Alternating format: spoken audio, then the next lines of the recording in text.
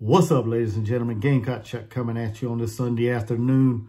Man, the Gamecocks is building something special there in Columbia. Coach Shane Beamer and his staff has uh, just landed one of the nation's top premier offensive tackle in the country. Uh, class of 2024, four-star offensive tackle Kam Pringle, right there out of the state of South Carolina from the low country down around Charleston area.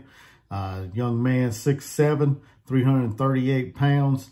Uh, he was the number, according to 247, he's the, num the number 174th player in the country, the number ninth offensive tackle in the nation, and the third and the number third player from the state of South Carolina.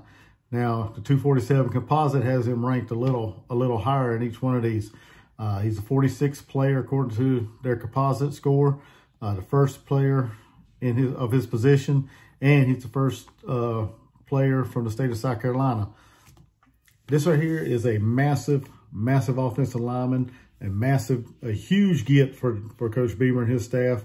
Um, this is a young man that if you look at uh, his uh, his uh, video, his uh, highlights, I'll try to link them down in the description below.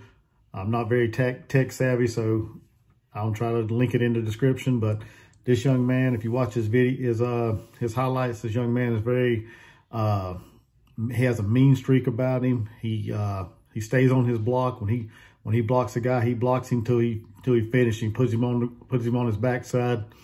And uh, I mean, this guy has a mean, nasty streak.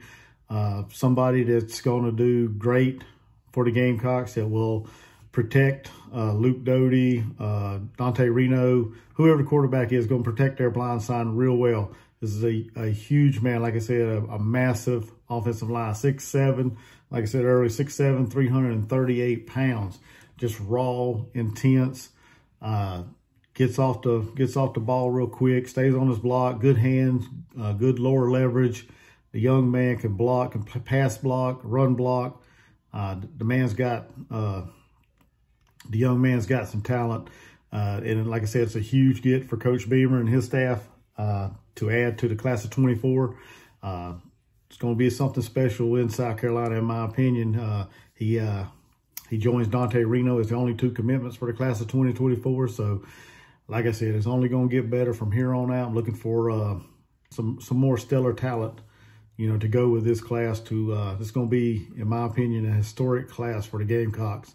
I'm going to predict that now. It's going to be a historic class for the Gamecocks, in my opinion.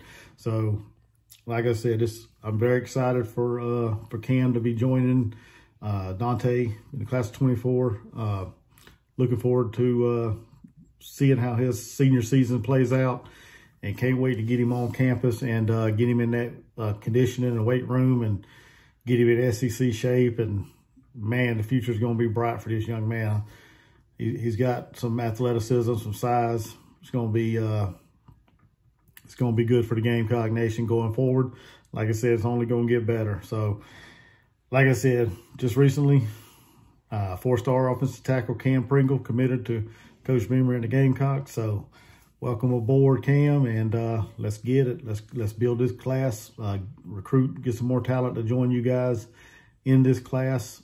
And uh, yeah, so thank you guys for watching. As always, don't forget to like, share, comment. Let me know what you guys think of this commitment. And also subscribe to this channel, help this channel grow. Until next time, y'all have a blessed day. Go Gamecocks.